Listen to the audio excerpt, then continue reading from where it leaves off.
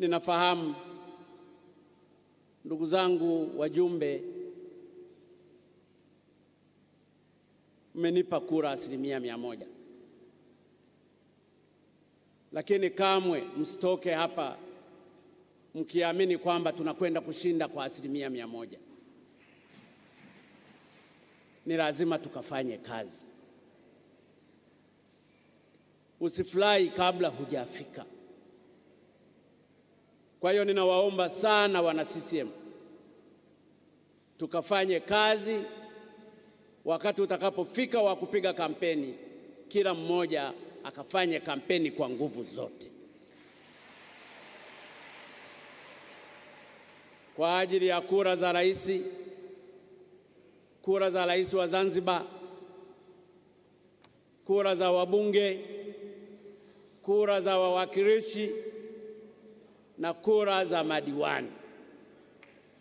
Sasa ndiyo kumekucha kwa ajili ya kuhakikisha chama chetu kinaendelea kushika dola kwa nguvu zote.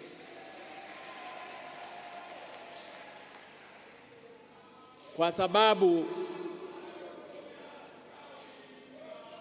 asante, asante. CCM oye! CCM oye! Ninayazungumza haya kwa sababu sisi wote wajumbe wa mkutano mkuu tuna wajibu wa kukisaidia chama chetu kushinda, na niwaombe wenzangu wote ambao wameshaonyesha nia na wengine watachaguliwa kwa ajili ya kuwakilisha katika nafasi mbalimbali, mara uchaguzi utakapokuwa umemalizika wa kuteua ndani ya chama chetu tukaujenge umoja.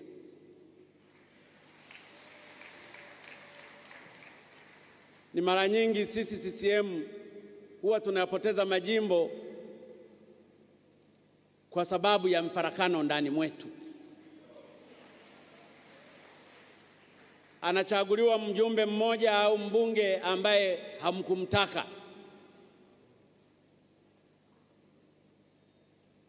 na baadaye mnajikuta wote mmepoteza hizo nafasi. Ninaushukuru sana mfano wa wagombea urais wa upande wa Zanzibar. Hongereni sana wagombea, naomba tena msimame niwaone. Hawa wameonyesha mfano wa tofauti. Kaeni waheshimiwa, wako thelathini na moja walijua si wote watakaokuwa marais watakaochaguliwa, na saa nyingine hizi nafasi huwa zinapangwa na Mungu.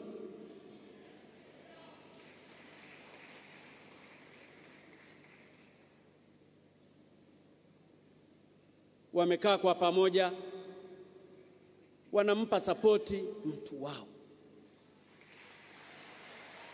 na nina uhakika hata kampeni watazunguka kwa kuhakikisha Mwinyi anashinda. Mara nyingine sisi wana CCM huwa tunachukua maneno ya wapinzani, hata wakati wa kampeni watu wamesemwa sana. Hata wewe Mwinyi umesemwa.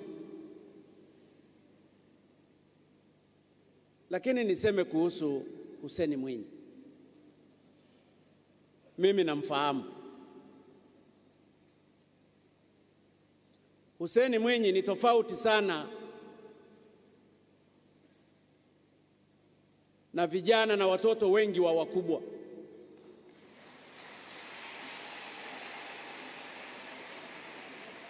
Mwinyi hajaubeba urais wa baba yake.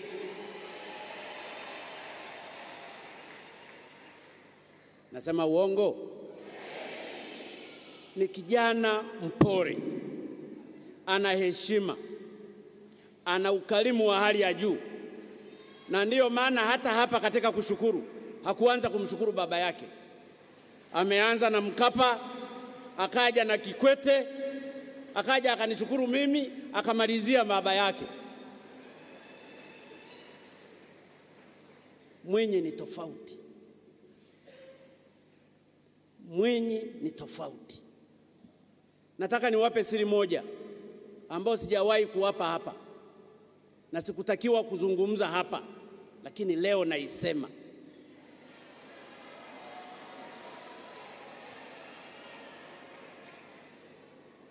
Wakati nimechaguliwa kupeperusha bendera ya Chama cha Mapinduzi mwaka 2015 niliyokuwa nimewachagua wawe wagombea wenza alikuwa ni Mwinyi na Mama Samia.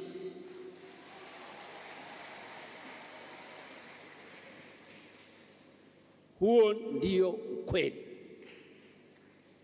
Mama Samia asingekuwa mwanamama, makamu wa rais alikuwa ni Mwinyi.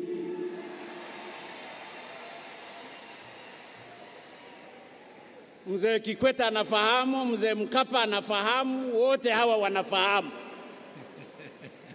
Lakini mwelewe ndugu zangu, ukishindanishwa na mama utashindwa tu.